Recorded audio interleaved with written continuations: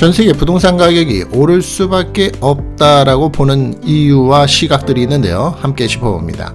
미국에서는 100년 만에 폭풍이 또다시 온다고 합니다. 최악의 경우는 1750억 달러의 피해가 발생할 수도 있다고 합니다. 헬즈볼라에서는 조건 없는 휴전을 거론하고 나왔습니다. 이스라엘의 공세에 감당하기 힘든 게 아닌가라는 시각이 또 나오고 있습니다. 트럼프 전 대통령은 2020년 코로나가 한창일 때에 푸틴에게 검사 키트를 보낸 적이 있다고 합니다. 미국의 대학들은 돈을 벌기 위해서 외국인 비자를 팔고 있다. 그러한 분위기가 무엇을 두고 하는 말인지 함께 오늘 시간에서 짚어봅니다. 한국의 초등학교에서는 한국 학생들이 굉장히 적어지고 있다고 합니다.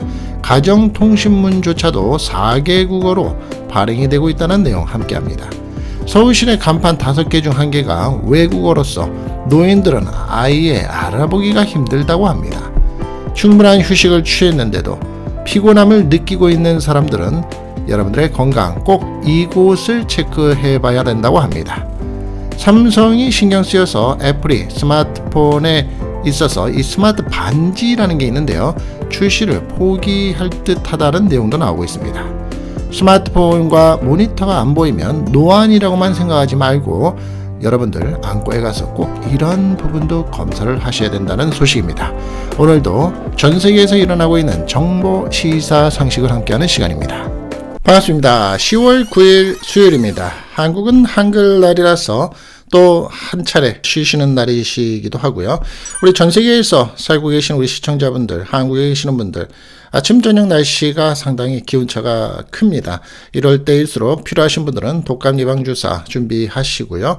환절기 감기 꼭 조심하시기를 응원드립니다. 자, 오늘 내용도 전 세계에서 일어나고 있는 일을 한꺼번에 모아서 짧은 시간 내에 짚어보고 상식과 시사가 아, 조금 생길 수 있는 그런 시간을 갖도록 하겠습니다. 첫 번째 소식입니다. 전 세계의 부동산 가격이 오를 거라는 얘기가 나오고 있습니다. 그 이유가 분명히 있겠죠. 아, 전문가들이 보고 있는 그 이유 무엇인지 한번 짚어보겠습니다. 전 세계 부동산 슈퍼 사이클 슈퍼 사이클이라는 것은 장기적으로 상승이라고 말을 할 수 있습니다. 이제 막 시작이 됐다라고 영국의 시사주간 에코노미스트지가 최근에 보도를 했습니다. 이에 따르면 우선 단기적으로는 금리 인하가 시작됐다는 것이 근거로 제시가 됐고요. 지난달 미국의 연방준비제도 FED가 금리를 내렸죠. 0.5%포인트 내렸습니다. 뭐, 표현상으로는 이것을 이제 빅컷이라고 단행을 했다. 라고 얘기를 했죠. 이에 대한 여파로서는 이제 미국의 30년 고정 주택담보대출 금리는 최고치에서 약 1.5%포인트 정도 내린 상황이다. 라고 얘기를 합니다. 유럽에서는 어떨까요? 음, 계속 금리가 인하되고 있으면서 주택담보대출 이자의 부담이 줄어들고 있다는 겁니다. 자, 이 같은 분위기 속에서 이자 부담의 하락은 주택 수요를 자극하겠죠. 아무래도 집을 좀 장만해 볼까? 이제는 슬슬 집 구경 좀 하고 다녀 볼까? 이런 분위기라는 거죠. 이코노미스트는 이 같은 단기적인 요소가 생긴 이 금리 인하뿐만이 아니라 구조적으로도 부동산 가격이 오를 가능성이 높다라고 분석을 하고 있는 겁니다. 특히 이 매체는 선진국과 도시들의 이 주택 가격이 오를 수밖에 없다. 라는 근거를 예로 들고 그에 대한 이제 이그샘플을 내놨는데요. 우선은 인구 통계학적인 변화가 있다고 합니다. 이민자들이 유럽 쪽에서 이제 늘어나면서 이제 이민자들을 더 이상 받지 말아야 된다. 이민자 기존 이민자들을 내보내야 된다. 뭐 이런 얘기들이 나오고 있으면서 선진국의 분위기에 있어서는 태생 외국 태생의 인구가 대략 4%씩 매년 늘고 있다고 합니다. 이것은 이제 기록상으로는 가장 빠른 성장세라고 하는데요. 이민자가 늘어나면 그만큼 렌트를 할 수밖에 없는 이 집들과 주택 가격은 올라간다는 겁니다. 선진국은 이민자가 늘어나는 것에 대해서 나름대로는 나라마다 이제 반발이 여론으로서 있긴 하죠. 그렇지만 어떤가요? 전 세계적으로 이제 저출산, 고령화 문제가 워낙 심각해서 이전보다도 더 많은 이민자를 받아들일 가능성이 높다라고 이코노미스트는 지적하고 있는 겁니다. 대도시로 일자리가 집중되고 있는 반면에 도심에 집을 지을 공간이 부족한 것도 하나의 원인이 되고 있습니다. 에코노미스트가 경제협력개발기구 OECD의 회원국의 내용을 분석한 결과 수도권에서 나오는 일자리가 전체 일자리에서 차지하고 있는 비중은 계속 증가하고 있다는 겁니다. 많은 도시에서 출퇴근을 하기 위해서 시간을 줄여야 되겠죠. 사실 어떤 경우는 한국 같은 경우는 뭐 두세 시간이 기본적으로 걸리니까요. 출근과 퇴근 시간. 이러한 새로운 교통 인프라를 가지고 있는 것이 한계에 봉착한 것도 부동산 가격을 밀어 올릴 수, 끌어 올릴 수밖에 없는 이유라는 겁니다. 내가 사는 지역에서 새로운 주택이 건설되는 것을 반대하는 경향도 앞으로 집값을 밀어 올릴 수 있다고 합니다. 미국에서 집값이 비싸기로 유명한 산호세에서는 지난해에 건설이 허가된 주택은 불과 7천 채에 불과했으며 10년 전에 비해서 아주 크게 줄었다는 겁니다. 이해되셨죠? 대도시에서는 집을 새로 짓는 게 아니라 이제 레노베이션 하는 정도로 끝나는데 사람들은 대도시에 계속 오게 되고 일자리를 택해서 대도시로 왔을 때 교통의 편의성 때문에 대도시에 밀집이 되는 거고 또 전 세계적으로 이민자들이 많이 들어오면서 집값이 상승이 되는 거고 그에 비해서 대출 이자는 싸지고 그러니 부동산 가격은 오를 수밖에 없다라는 논리입니다. 미국에서 100년 만에 폭풍으로 지금 얘기를 하고 있습니다. 최악의 경우에는 대략 1750억 달러의 피해까지 나올 수도 있다라고 보는 시각인데요. 바이든 미국 대통령이 역대급 허리케인인 밀턴이 일으킬 수밖에 없는 재해에 대비하기 위해서 해외 순방 일정을 계속해서 연기하고 있습니다. 이례적으로는 강력한 허리케인인 밀턴이 미국의 남동부의 인구 밀집 지역인 플로리다. 우리 플로리다에 살고 계시는 우리 시청자분들, 특히 여러분들의 무탈하실 수밖에 없는 환경적인 부분들이 꼭 갖춰주시고 준비하시기를 진심으로 응원드립니다. 플로리다주에서 점점 더 가까워지면서 현지에서는 아주 긴장감이 고조가 되고 있다고 합니다. 미국의 국립 허리케인 센터 NHC라고 합니다. 미국의 국립 허리케인 센터에 따르면 밀턴은 플로리다에 상륙할 때까지 매우 위험한 허리케인으로 남을 것이라며 오늘이 플로리다 주민들이 그들의 가족과 집을 허리케인에 준비시키고 대피할 수 있는 마지막 날이라고 강조를 했습니다. 강력한 허리케인 밀턴이 최악의 경우에는 1750억 달러, 약 하나로 따진다면 235조 9천억 원 정도의 피해를 몰고 올 것이라는 전망이 나왔습니다. 약 2주 전 미국을 훑고 지나간 허리케인 헐레인이 남긴 피해 금액이 대략 110억 달러라고 하는데요. 그에 비해서 10배가 넘는 피해라고 보고 있습니다. CNBC에 따르면 월스트리트에서는 허리케인이 밀턴, 이 밀턴이라고 부르는 이 허리케인이 미국의 최소 500억 달러, 최악의 경우는 1750억 달러에 육박하는 대규모 피해를 일으킬, 일으킬 수 있다. 불러일으킨다. 라고 예상하고 있고 피해 규모는 허리케인이 어느 곳에 상륙하느냐에 따라서 좌우가 된다고 합니다. 밀턴이 상륙해서 관통할 것으로 예상이 되고 있는 템파베이의 해안에서는 최대 4.6m 높이의 해일이 일 것으로 예상이 되고 있고요. 또 이 지역을 포함한 플로리다 반도 중북부에서는 최대 460mm의 폭우가 내릴 것으로 예측이 됐습니다. 그러면 460mm면 46cm 그렇다면 대략 한 이만큼 되는 거죠. AP통신 등 현지 언론은 이번 허리케인이 인구 밀집 지역을 지나면서 종전의 다른 허리케인들보다 큰 피해를 낼 가능성이 크다라고 보고 있습니다. 전망을 하고 있고요. 플로리다의 주요 시설도 속속 문을 닫고 있습니다. 백악관의 연방재난관리청, 뭔지 아시죠? FEMA, F-E-M-A. 저도 FEMA의 지원을 받은 적이 수십 년 전에 있었어가지고 아주 낯익은 단어인데요. 해당 지역의 기지에 200만 명분의 식사와 4천만 리터의 물을 비축했으며 약 900명의 지원 인력을 배치했다라고 밝히고 있습니다. 다시 한번 말씀드리지만 우리 시청자분들 꼭 무탈하시기를 기원합니다.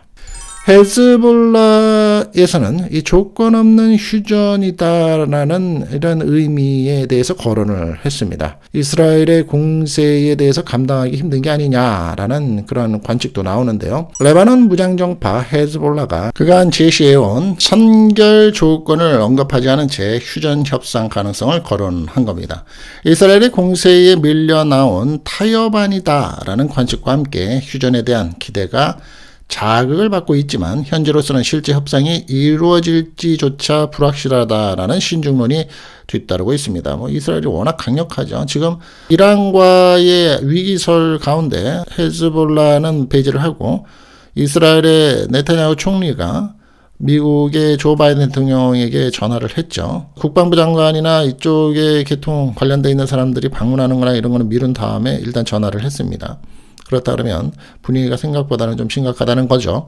헤즈볼라 2인자인 나임 카셈이라는 사람은 8일 현지 시간으로서 영상 연설을 통해서 나비베리 레바논 의회 의장이 휴전이라는 명목으로 이끄는 정치 활동을 지지한다라고 말을 한 겁니다. 카셈은 휴전이 성사되고 외교회장이 열리면 다른 세부 사항이 논의될 수 있을 것이라고 말을 했습니다. 같은 발언이 휴전 협상을 염두에 둔 발언으로서 해석이 되면서 중동 긴장 악화에 취속고 있는 국제유가가 급락을 하기도 했습니다. 로이터 통신은 카셈의 발언이 가자지구 휴전 없이는 군사활동을 멈추지 않겠다던 기존의 입장이 변한 것인지는 불분명하다면서도 휴전 협상에 여지를 둔 것이라고 해석을 했습니다. 특히 통신은 카셈의 이날 발언 전에도 헤즈볼라의 입장 변화 가능성이 포착되었다며 이스라엘의 공세가 감당하기 어려웠기 때문일 수 있다라고 분석을 했습니다. 이스라엘은 지난달부터 그간의 교전을 하던 접경지 레바논 남부를 넘어서 수도 베이루트 근처나 도심까지 공습의 범위를 넓혔고요. 헤즈볼라의 거점인 레바논 남부에서 사단 병력을 계속 투입하는 등 지상전을 확대해가고 있기도 하다고 합니다. 레바논 정치권이나 헤즈볼라의 내부에서도 헤즈볼라가 이스라엘의 힘에 밀려서 휴전 가능성을 타진할 수밖에 없다는 얘기가 나오고 있는 겁니다. 국제정세에 관해서 또 상식적으로 짚어봤습니다. 자, 이번 내용은 또 말씀드리다 보면 공화당을 응원하시는 분들, 트럼프를 응원하시는 분들과 해리스 부통령을 또 응원하시는 분들 사이에서 상당한 의견이 또 있으실 수 있고요. 저한테 또 욕을 하실 수도 있는 분들이 계실 텐데요. 일단 전 세계적으로 나오고 있는 매체의 내용들이니까 한번 상식적으로 또 짚어드리겠습니다. 욕을 먹더라도. 트럼프 전 대통령이 2020년에 팬데믹이 코로나 사태가 굉장히 한창일 때에 푸틴 러시아 대통령에게 개인적으로 검사 키트를 보낸 일이 있다고 합니다. 코로나 19이 전 세계를 강타해서 검사 키트가 귀했을 시절인 지난 2020년 트럼프 당시에 미국 대통령이 푸틴 러시아 대통령에게 검사 장비를 비밀리에 보냈던 것으로 알려진 겁니다. 8일 CNN이 미국의 언론인 밥 우드워드의 신간 책을 낸 거죠. 전쟁이라는 책, war이라는 책을 사전에 입수해서 보도한 바에 따르면 트럼프 전 대통령은 2020년 푸틴 대통령에게 미국 에버사의 진단 장비를 보냈다고 합니다. 코로나19 확산세가 최고조에 이르던 때였는데요. 당시에 푸틴 대통령은 트럼프 전 대통령과 통화해서 이렇게 얘기했답니다.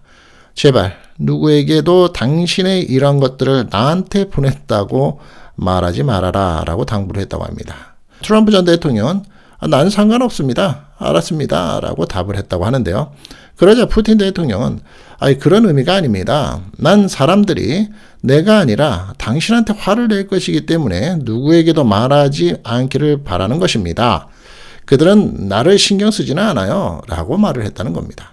우드워드에 따르면 트럼프 전 대통령은 퇴임 후에도 푸틴 대통령과 연락을 했다고 합니다. 우드워드는 트럼프 보좌관에 따르면 트럼프가 2021년 1월 백악관을 떠난 뒤 트럼프와 푸틴 간에 여러 통화가 있었고 어쩌면 7번이나 통화를 했을 수도 있다라고 책에다 쓴 겁니다. 우드워드는 미국 정부 당국의 수장인 에브릴 헤인스 국가정보국 국장에게 통화 여부에 대해서 질문을 했지만 그가 긍정도 부정도 하지 않았었다라고 밝히고 있습니다. 트럼프 캠프 쪽에서는 이 내용에 대해서 즉각 반박을 하고 있습니다. 정치의 대통령 선거 전이니까 그러겠죠. 스티븐 청 대변인은 밥 우드워드가 지어낸 이야기는 하나도 사실이 아니다라며 할인 서점의 소설 구석에 속하거나 화장지로 쓰이는 책이다. 라고 비난을 했습니다. 러시아 크렘린궁도 이건 사실이 아니다. 선거 전 정치 캠페인의 맥락에서 나온 전형적인 가짜 이야기다라고 밝혔습니다. 있는 그대로 말씀드린 겁니다. 그러니까 판단은 여러분들이 하시는데 이 책을 쓴 사람이 가짜 얘기를 한 걸까요? 아니면 두 대통령이 있었던 일에 대해서 현재 민감하니까 입을 막고자 하는 걸까요? 판단은 여러분들이 하시기 바라고요. 전 세계적으로 이 매체들이 이 내용에 대해서 지금 연일 얘기를 하고는 있습니다. 미국의 대학들은 돈 벌기 위해서 외국인 비자를 팔고 있다라는 그런 해석이 좀 나오고 있는 일이 있습니다. 미국의 대학가에서 외국인 고숙련 근로자를 상대로 한 취업 비자 장사가 늘고 있다. 일종의 가짜 학위를 위해서 수천만 원에 달하는 수업을 등록하고 이민법의 허점을 활용하려는 외국인의 주머니를 노리는 상술이 이어지고 있다는 것입니다. 블룸버그는 미국의 대학 중에 수십 곳이 연방 학습, 현장 실습 규칙을 활용해서 이 커리큘럼을 만들어 운영하고 있다며 대부분 온라인으로 수업을 진행하고 1년 중에 몇 차례만 직접 출석을 하면서 정규직으로 일할 수 있는 시스템이다 라고 설명한 겁니다. 커리큘럼을 수강하고 있는 학생 대부분은 미국에서 취업할 때 꼭 필요한 전문직 취업 비자, H1B죠. 이것을 받는데 어려움을 겪는 외국인들이라고 합니다.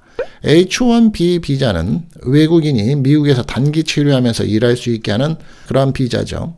이 비자의 체류 허가 기간이 몇 년인가요? 3년입니다. 다시 심사를 통해서 3년 연장할 수 있죠. 그래서 최고 6년까지 미국에서 일할 수 있습니다. 하지만 H1B의 신규 발급뿐만이 아니라 재심사 통과도 쉽지 않은 게 지금의 현실이죠. 회사들이 support를 잘 안 하고요, 요새. 지난해에 이 비자 신청자 수가 44만 6천 명에 달했으나 승인된 사람은 8만 5천 명의 비자 승인만 받았다고 합니다.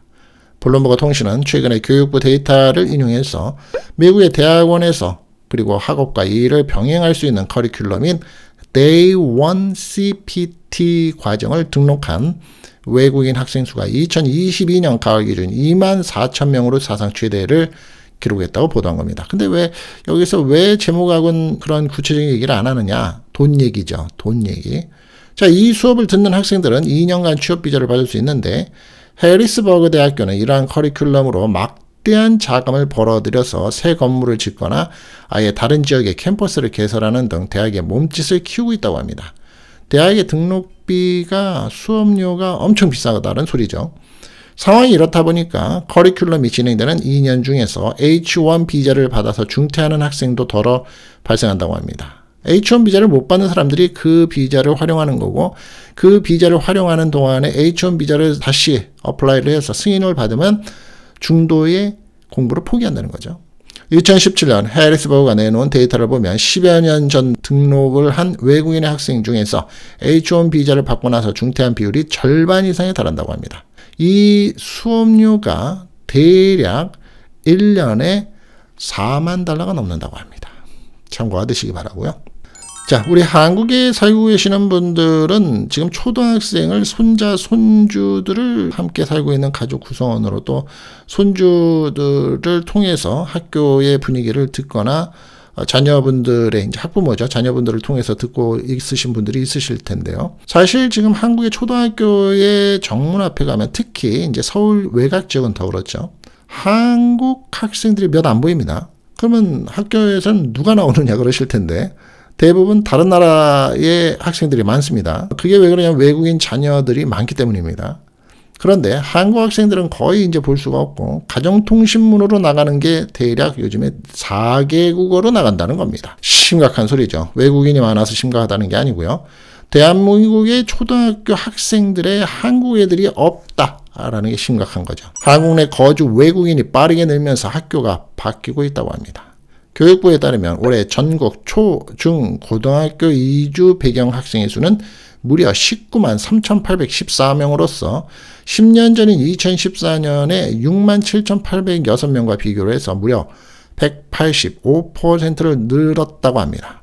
같은 기간에 전체 초중고등학교의 학생 수가 633만 3,617명에서 518만 6,141명으로 100만 명 이상 줄어든 것과는 대비가 된다는 겁니다. 전체 취약의 아동은 감소하고 있는 가운데 이주 배경 학생이 증가하는 것이어서 변화의 속도는 배가 되는 겁니다. 거꾸로 역행을 하는 거죠. 이주 배경 학생이라는 것은 학생 본인 또는 부모가 외국 국적이거나 외국 국적을 가졌던 적이 있는 학생을 뜻하는 말로서 다문화 학생보다 더 포괄적인 개념입니다. 교육부는 다문화에 대한 부정적인 선입견을 제거하고 포용과 통합을 위해서 다문화 학생에서 이주 배경 학생으로 용어를 변경했다고 합니다. 전교생 10명 중에서 3명이 이주 배경 학생인 학교도 급격히 늘고 있고요. 학교 교육개발원 어, 윤현희 연구위원 등이 작성한 이주민 밀집지역 소재 학교 혁신 방안 이것에 따르면 작년에 이주 배경 학생이 전교생의 30% 이상인 초중고등학교가 전체 학교 11,819곳에 2.96%, 약 350곳으로 집계가 됐습니다. 5년 전에는 전국의 250교 학교에서 40%가 증가를 했다는 겁니다. 경기도 안산의 한 초등학교는 전체 학생 455명 가운데 이주 배경 학생이 444명, 무려 97.6%에 달했습니다. 뭐 거의 외국인 학교죠. 일반 한국인 가정의 자녀는 극소수인 2.4%로서 한 반에 한두 명 불과합니다. 이런 학교를 또 한국의 부모들은 안 보내려고 그러겠죠. 외국인 가정의 경우 부모 출신국은 중국, 러시아, 우즈베키스탄, 카자흐스탄 등 총 16개 나라에 달했고요. 서울에서도 변화의 양상은 뚜렷하다고 합니다. 올해 서울시의 초, 중, 고등학교 이주 배경 학생 수는 2만 1282명으로서 10년 전인 2014년 만 21명보다 2배 이상 늘었다고 합니다. 자, 아까 말씀드린 안산 같은 경우에는 전체의 455명의 학생 중에서 444명이 외국 이주 배경 학생이다. 이건 뭐 보통 심각한 일이 아니겠죠? 그런데 공교육이죠. 네. 알아봤습니다. 서울 시내를 돌아다니시다 보면 점점 뭐 대한민국의 서울 시내의 간판은 화려하죠. 화려한 가운데 서울 시내 간판 중에서 요즘에 한글 간판이 점점 안 보입니다. 네, 오늘 한글다리를 한번 짚어볼 텐데 서울시내 간판 다섯 개 중에서 한 개가 외국어입니다. 아예 외국어. 노인들은 알아보기가 아예 힘듭니다. 읽기도 힘듭니다. 영어권에 살고 있었던 저도 때때로는 저게 어느 나라 말이지? 라고 생각하기 쉽습니다. 왜? 변형된 언어를 또 쓰기도 하니까 말입니다. 서울시에 따르면 작년에 서울시가 조사한 간판 7,795개 중에서 1,651개가 외국어로만 적혀 있다고 합니다. 21.2%인데요. 한글과 외국어를 함께 적은 간판은 1450개, 18.6% 뿐입니다. 외국어를 자주 접한 젊은 세대는 이용에 별 불편함을 못 느낄 수도 있겠죠. 그런데 나이가 고령이거나 외국어에 문외한 사람들은 다르죠. 특히 노인들은 가게 외관을 한참 살펴도 도대체 뭘 하는 가게인지 모르겠다는 반응이 많습니다. 최근에는 영어뿐만이 아니라 일본어, 중국어 간판도 크게 늘었습니다. 아예 중국어, 아예 일본어입니다. 식당 중에는 아예 메뉴판도 외국어로만 표기된 것도 있죠. 파스타집, 스파게티집, 우동, 돈가스 이런 거 파는 데들 말입니다. 수원시 행궁동의 한 붕어빵 가게는 간판과 메뉴판을 일본어로 영어로만 표기했습니다. 이러면 장사가 잘 될 것 같으니까 그러는 거죠. 7회 이 가게를 방문한 한 사람은 온통 외국어라서 주문이 힘들었습니다. 라고 얘기를 하기도 하고요. 대구 동성로의 한 일본 식당은 메뉴판의 음식 가격을 아예 일본 엔화로만 표기해서 논란이 되기도 합니다. 외국어 간판을 규제하는 법이 있긴 하지만 사실상 유명무실하다고 합니다. 5개 광고물법이죠. 간판에 대한 부분은 5개 광고물법입니다. 제5조 12조에서는 같은 법 시행령 제12조 등에 따르면 간판은 특별한 사유가 없다면 한국어 표기가 원칙이고 위반하면 1년 이하의 징역 또는 1천만 원 이하의 벌금에 처해진다라고 되어 있습니다. 근데 문제는 이 조항을 적용받은 간판은 건물 4층 이상의 높이에 설치된 간판들이라고 합니다. 이 법이 허점이 있는 거죠. 1층부터 3층 높이의 설치 간판들에는 적용이 되지 않습니다. 외국어 간판을 많이 쓰고 있는 카페, 음식점, 상점은 대부분 어디 있나요? 1층에 있습니다. 게다가 간판 면적이 5제곱평방미터 이하인 경우에도 법의 적용을 받지 않고 있는데 이러한 경우라면 대부분 중소형 상점에 간판은 적용이 되지 않는다는 겁니다. 법을 바꿔야 되는 거죠. 규제 범위가 너무 작아서 법이 있으나 마나한 셈입니다. 그리고 지방자치단체에서는 단속 의지가 아예 없다고 합니다. 그 많은 간판을 언제 간판을 가서 단속합니까?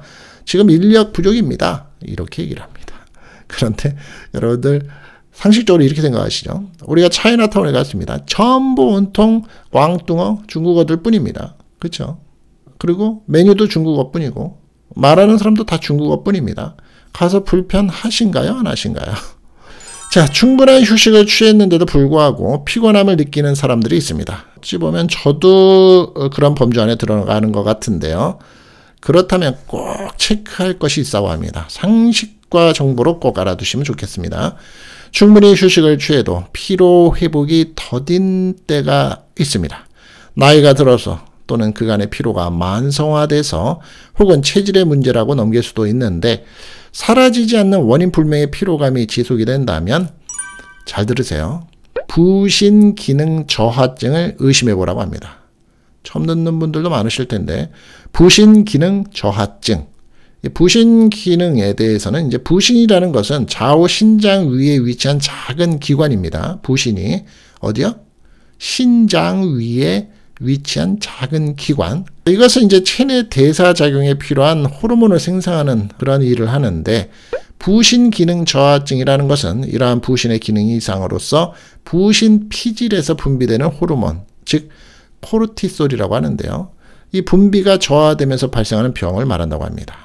부신 기능의 저하는 코르티솔, 알도스테론, 안드로겐, 카테코라민 등의 호르몬 분비 장애로 이어진다고 합니다. 뭐 하나도 기억 못할 단어죠. 근데 그런 호르몬 장애가 생긴다. 우리 몸의 항산성이 깨지고 식욕이 감퇴하고 피로감을 느끼고 위장관 증상이 나타난다고 합니다.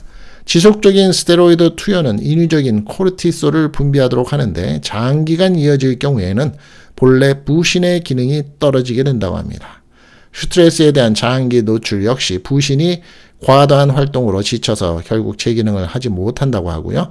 기능이 떨어진 상태로 방치할 경우에는 피로감은 물론이고 체중이 증가하기 시작하고 고혈압이 그리고 불안과 초조, 만성 두통, 면역력 저하로 인한 각종 질환에 노출되는 등 건강에 악영향을 끼쳐서 적절한 조치가 필요하다고 합니다. 자, 이것은 체내에 부족한 스테로이드 제제 등을 보충하는 등의 치료법으로 개선할 수 있다고 하는데요. 아마 이 내용을 들으면 어 나도 그런가? 라고 갸우뚱하실 분들이 많으실 텐데요. 부신이라는 내 몸속에 신장 위에 위치한 작은 기관이 문제가 될 수 있다. 그래서 부신 기능 저하증을 의심해 보시라는 내용입니다. 삼성이 신경이 쓰여서 애플이 스마트 반지 링이죠.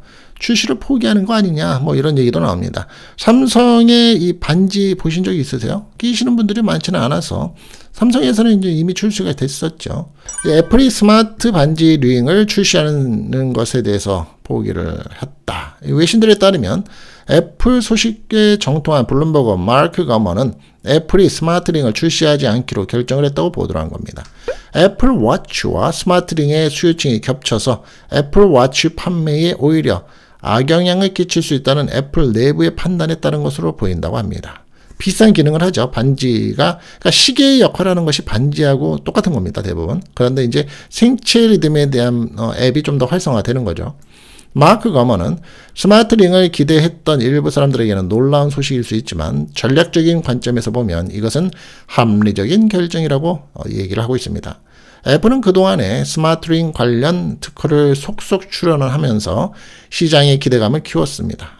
작년에 11월에는 미국의 특허청에 스마트링에 적용되는 전자 시스템 특허까지 출원을 하기도 했습니다. 당초에 스마트링에는 알림을 받고 반지 표면을 눌러서 응답하는 기술 등이 담길 것으로 전망이 됐는데요. 무엇보다도 삼성의 스마트 반지 갤럭시 링과 함께 치열한 경쟁을 펼칠 것으로 예상이 됐으나 이 역시 성사되지 않는다고 합니다. 애플이 제품 개발을 포기하면서 웨어러블의 새 카테고리로 주목을 받았던 스마트 링 시장 규모가 커지는데도 한계가 있을 것으로 보입니다. 삼성 외에도 샤오미는 지난 4월부터 11만 원대의 스마트 링 한 90달러 정도 되는 거죠. 블랙 샤크를 판매 중이고요. 핀란드 기업 오우라는 지난 3일 신제품 오우라 링 4를 선보인 적도 있습니다.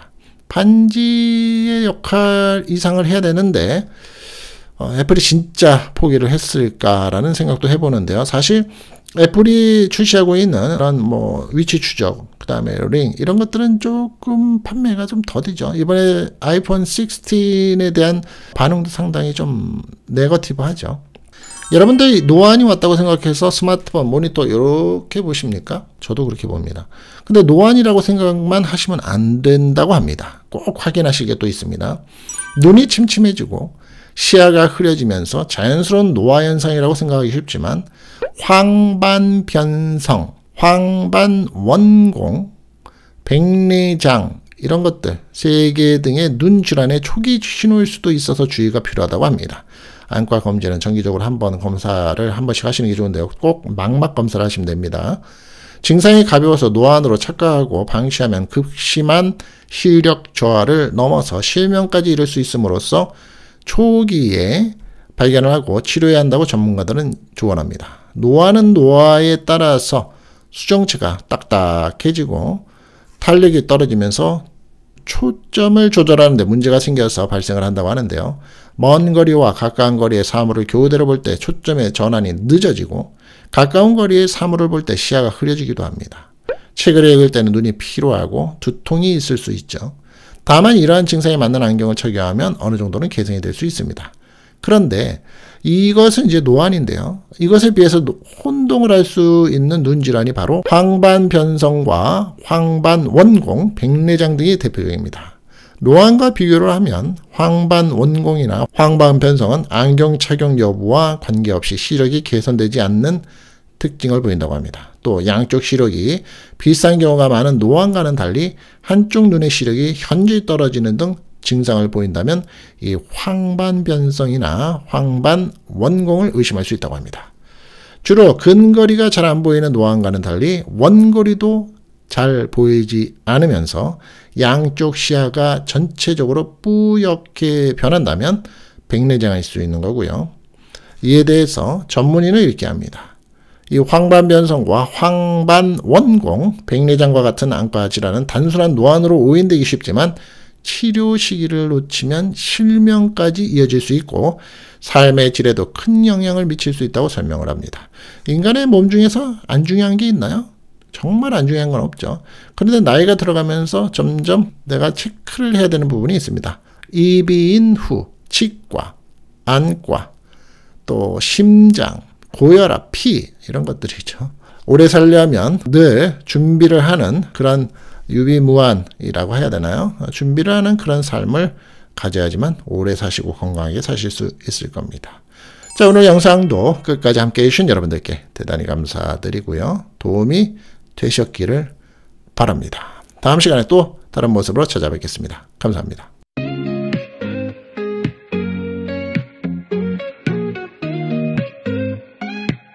세상은 빠르게 돌아가.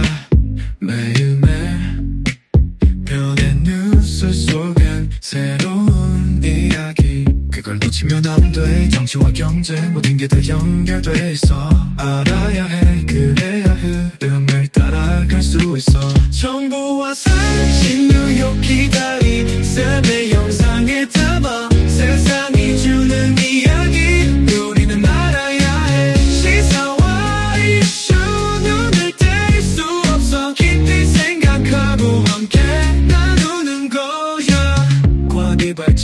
기술의 진보 우리 삶을 바꾸고 기후 변화 환경 문제 다 함께 풀어가야 해